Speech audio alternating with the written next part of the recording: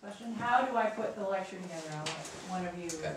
I, most of what they said, I would include in this. So Okay. all those things, yeah. Mm-hmm. For me, the study part, the initial question, let me just get information in my head. And so that's the way I like to approach. And, and so you start new, you, all that stuff. But when it comes to actually, okay, what am I gonna do about a lecture? Mm-hmm. So, like Tom, okay, let's go and, what are the important bits? Mm-hmm. Is there a difficult passage? Is there a portion of the book that students are probably gonna have questions on? What's the stuff I absolutely need to cover? Um, because like you said, in, in a large book, if you can't go verse by verse, you gotta make a decision, well, what am I gonna cover?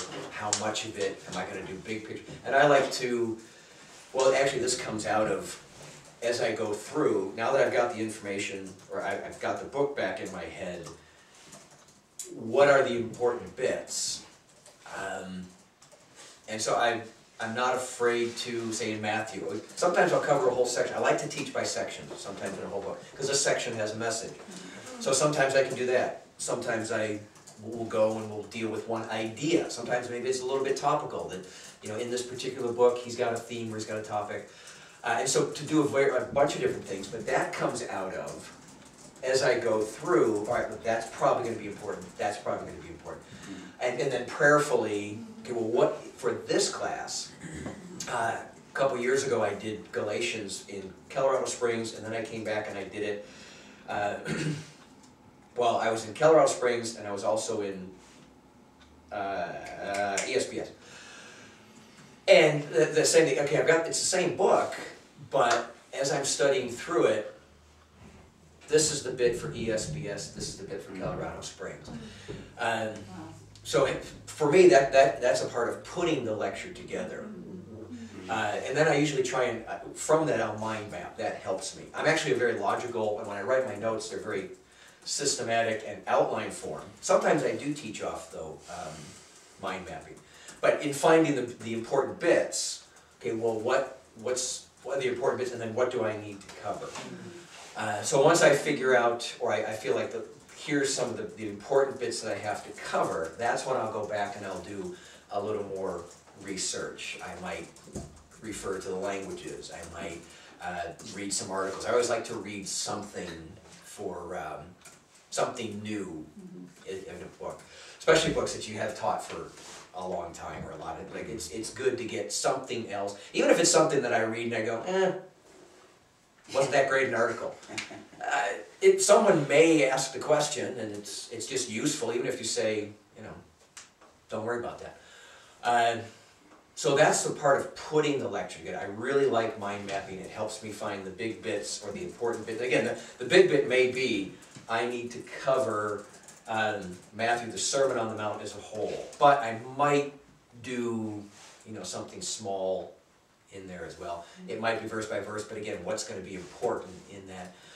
Uh, and then try and think, I want to give them things that they may not necessarily be able to find on their own. So relative to background, um, I don't want to do the BRI for them. Uh, that's their job. I don't want to chart for them. I don't want to give them everything. We got three hours. We only got three hours in class.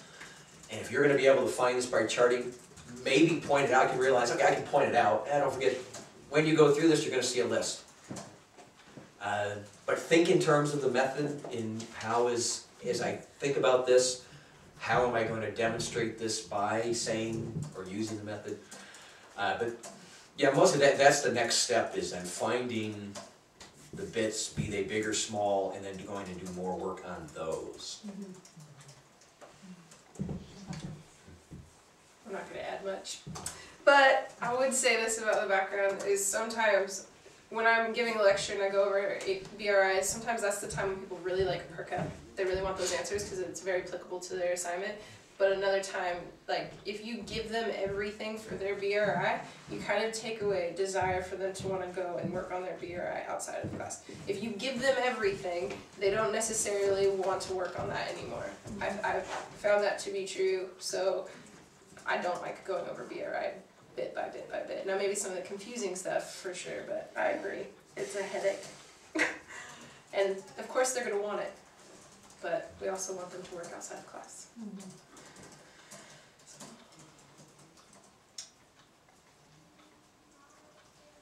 Well,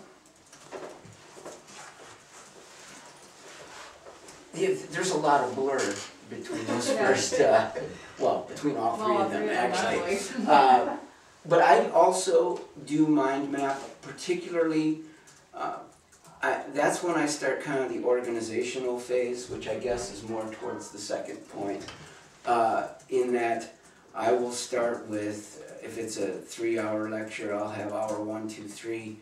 And I, I have a mind mapping, uh, software thing, so that I can find things whenever and wherever I find them. I write them down and then I can drag them around to organize. And so I, I like that because it's better to me than paper. Because you can't drag on paper, uh, you know. So I can. It allows me. It allows me because you never find the things. At least I don't. You don't find them in the order that you need them. You seem to like Yes. find things while you're looking for something else. Yes. And and so mind mapping allows me to like just write that stuff down. Hmm. and then later I can just drag it around and say, okay, well, this is how I want and this will this I think I can do in one hour and this I can do in another hour and, and so for organization I love my mind mapping program. Hmm. Now once I'm done with that I usually don't use it in my actual presentation hmm. uh, because there's usually just too much and I just don't work that way, period. So, but as far as preparation goes and as far as putting together what I want to do and when and what, you know, hourly goals, all that kind of stuff. I mean, I find mind mapping really useful for that, uh, especially using software where I can uh, change my mind a lot uh, and just drag it around and yeah, you know, and say, okay, that looks a lot more realistic. Uh, you know, so I do that as well. Um, and also during this stage of things, if there's something that I want them to remember, I tend to try to uh, spend a little time on um, cooking it down into a very short, clear statement. Uh, which that usually takes a little engineering. Like you write down a thought and go, eh, and then you, you tweak it and tweak it and tweak it. And my goal is always to get it as short as I possibly can, uh, you know, and as clear as I possibly can, and as accurate as I possibly can without it too open or too closed. Uh, you, you know, like. Uh, so that usually takes a little bit of engineering. So I think in the second phase here, when I when there's something there that I think I want people to really say, I will try to work on a, a statement, and that's usually something I'll put in a either overhead or on the whiteboard or something. Uh, you know, and a lot of times those then can be key building blocks for the, the lecture, you know, like those will be like, uh, I don't know what you would say, uh, signposts along the way, you know, like those are key, key foundation stones usually for the lecture then that I will build off of and use to change the subject or use to, uh, you know, uh, that sort of thing. So I, I look for those kinds of things as I'm putting the lecture together to like, okay, first you need a coherent um, approach to the text.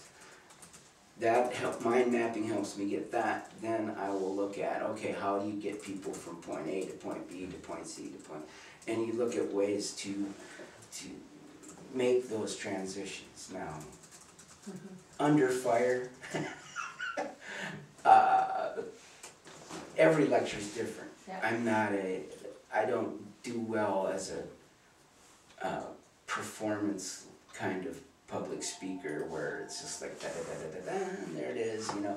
That's really not my way, especially in SBS. That's always more of a dialogue. And Yeah. so I, uh, yeah, that kind of stuff I don't mess with. But I, but if there's something I want to say in particular, that I do spend some time on at this stage of the game, I think. And yeah. Yes. Oh, also, I like to follow. There's this discussion on whether or not you follow the author's uh, sequence or not, I almost always do.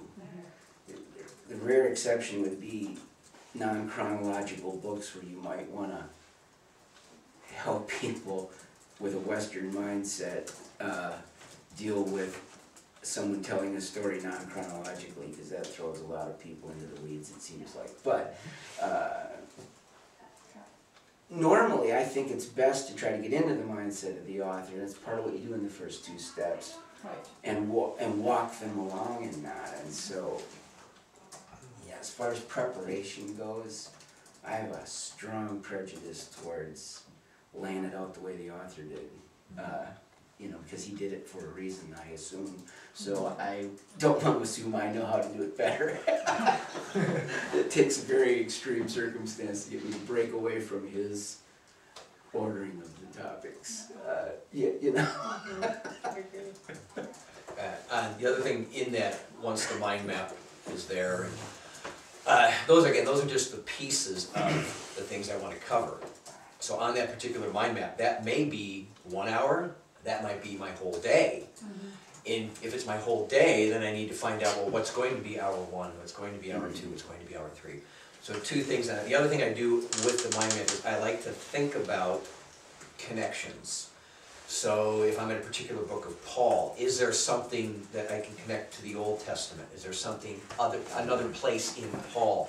And help them to see what would be an important literary context? Is it canonical, is it, Yeah. is there, s- so that, so it's not just, well, I'm in Thessalonians and that's all I've got to work with, to help them see a, a broader picture and make connections. Um, so think about that. And then in terms of actually organizing it, Titus has a, I've been using this for years and I still do the lecture synopsis. Uh, which is basically what Tom's talking about, is, uh, it makes you come up with an objective. Uh, a For main every message for every hour. And I will do that, I, I will put the objective up on the whiteboard and I will spell it out that, so that they know from the very beginning, you're gonna, all the notes you're taking, you're gonna be able to hang on something. So the objective for this hour is, Right. and in the, thinking about the objective, the, it answers three questions. What am I gonna cover? How am I gonna cover it? And what do I want the result to be? So for Philippians chapter two, that's gonna be an entire hour. Well, the objective for this class is to look at Jesus as the ultimate example of humility and uh, service. Okay, that's what we're how are we gonna do that? By observing and interpreting the five key words that you have to define, Paul's use of Isaiah's suffering servant, uh, and um, you know, well, key definitions, and then uh, what does Paul mean by mind? Okay, with the result that the the class see you know, that this is the primary example, or how Paul used, you know, whatever I want the result to be. Sometimes it changes, sometimes it's, um, the result I'm going for is what the original author, or what the original readers were supposed to get, or sometimes I'll take it to, I really want the class, it's gonna be more of a preach. So I want the class to get that the, the essence of discipleship is you are slaves of Isaiah's suffering servant. I mean, that's what I want them to come away with for Philippians two. But that's really helpful. Mm-hmm. What am I gonna say? How am I gonna cover it? And then that automatically gives me the points for further study. And then thinking about the main message in one or two sentences. So I, and I think about, I've been verbally vomiting on them for 45 minutes to be able to turn to Matt and say, okay, Matt, what was this hour about? And Matt can then say, if he says something to the effect that, well, it really was about the nature of discipleship and serving, and it's about humility and service and self-sacrifice. Awesome, I covered it. So in terms of an organizing thing, I still use those, and they are great resources.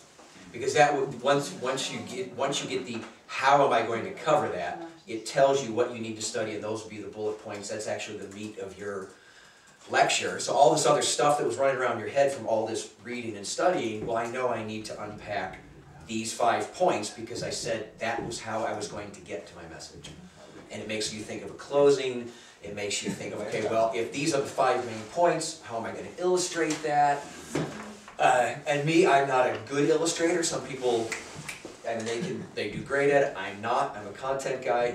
So it forces me to then think, it, it's got a place for, am I reaching the kinesthetic people, am I reaching the visual people, am I reaching the audio, auditory people? Uh, what's my, I call it the money lecture, or the money illustration, what's that big one at the end that, you know, for me, it's the puck in the box. I have people twenty years later say, you're still doing Gene in the puck in the box? Yeah, I'm doing the puck in the box. I haven't found anything better, it works. The man package. The, no, the man package is not me. Uh, Sally Joe. that was Sally Jo. The importance of prepositions, this is She took the taped. plug in the box and just ruined it. It's- Yeah. so important. Uh, Don't So- want to be famous. so those are incredibly valuable tools for me and I still use them. Yeah. Awesome. Yeah, we can give you guys, oh yeah, Josh will send them to you so you can. And I actually like the old ones. The, one of the first ones that Amy did, she revamped them and they put more categories in. You know, Amy, she's always making it bigger and better and, and the new one just confuses me. But uh, the old one is just a little more straightforward. Uh, So you should send us that. On, on that note, I guess that's in this one and not the next, well, it's in both, but one of the things I do at this point is I start making what I would call a punch list.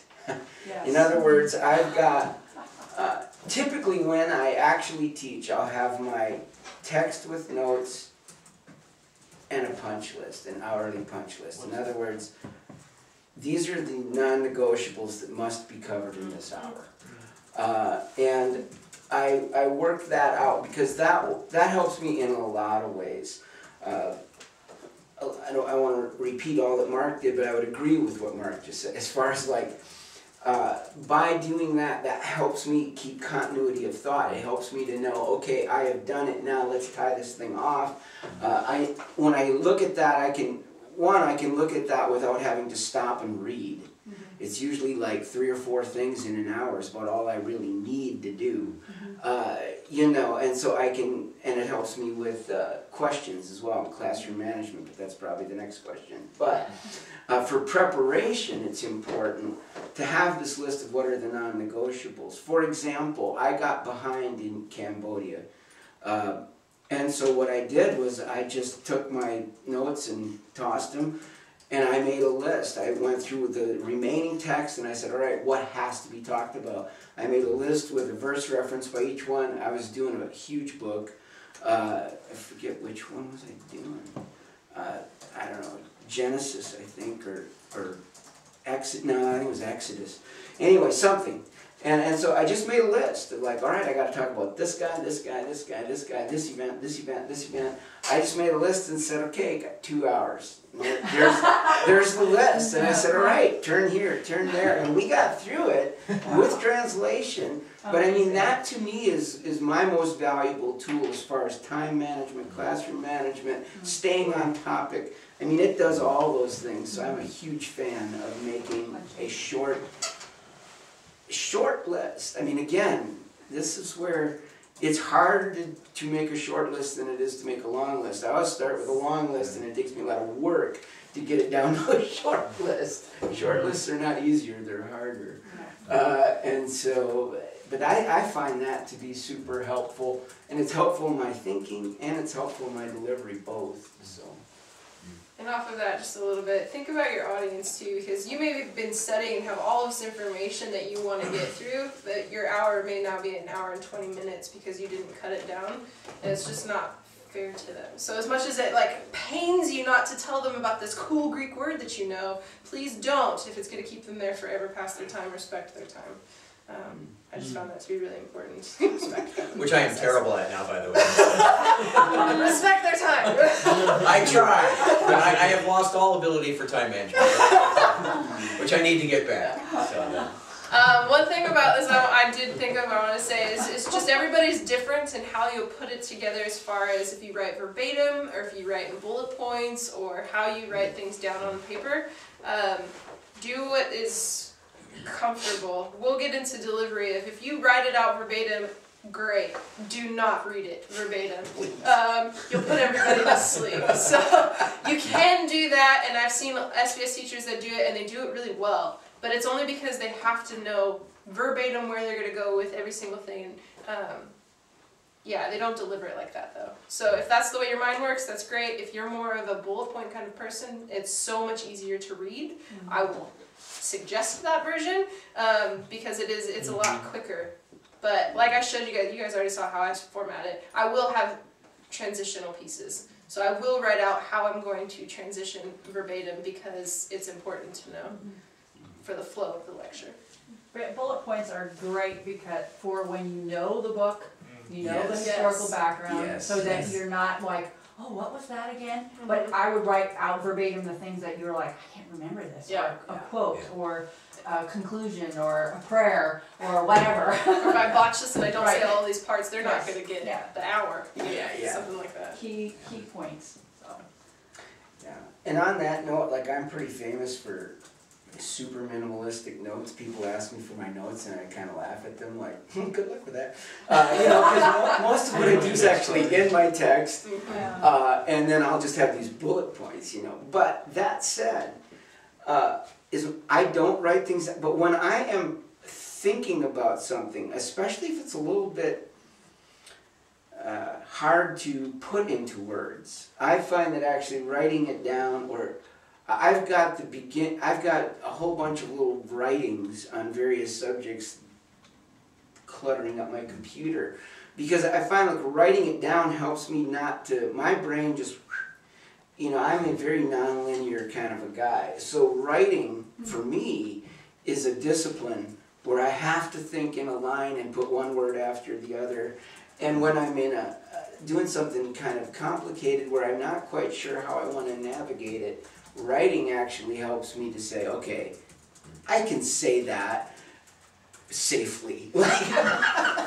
You know, I can read it and say, uh, okay, I can say something like that. I won't say that. I won't read it obviously, but I'll know like, okay, that's a statement that can be safely made. And so after working on it a little, I do stuff like that, especially if you're dealing with something a little theological or something where the words do matter. You know, like you, writing it down can help you uh, find the boundaries of what can be said and what you probably shouldn't say.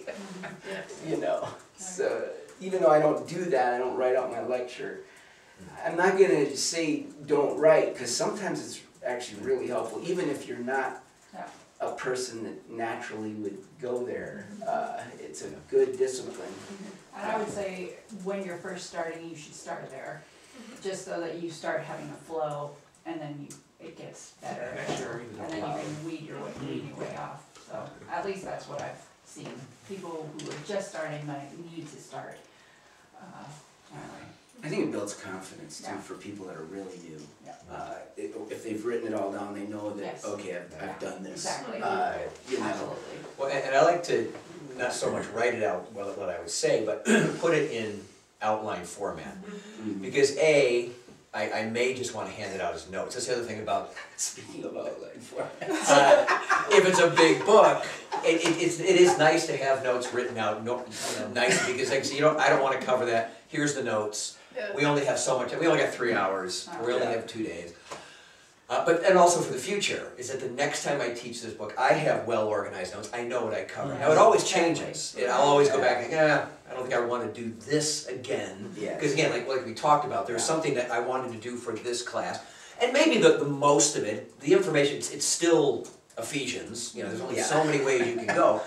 But I've got the notes, I know exactly what I did last time, and I can adjust it from there, but at least then I have a copy for myself, and I may wanna get it out to them. And that, and that's a point I've actually been criticized on, and it's, it's, it's been on my to-do list for many years, is make notes that would be helpful to other people. Uh, and I have notes that are helpful to me, but are unintelligible to other human beings. Uh, you, you know, and uh, I've been challenged on that. I still haven't done anything with it. There's a couple of books that I have notes that are probably coherent enough that I can give them to another person and say, yeah, I, here's my notes. But most of my stuff I don't have that for. And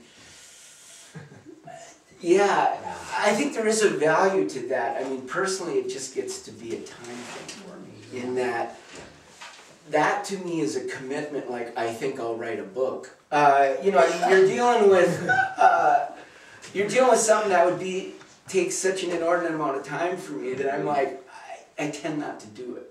Uh, you know, I tend to study the book, and when I'm ready to talk, I'm done, right? and, so, And so I don't take that next step of saying, you know, here's for posterity, you know? So, but not saying that that's bad, because actually I've had people give me their notes. I have notes from some other teachers on different books that I find very useful because it's like, ah, I see you know where you're going here, and, mm-hmm. and uh, it makes me wish I did that. But let's be real. we will all be our own selves. Yes.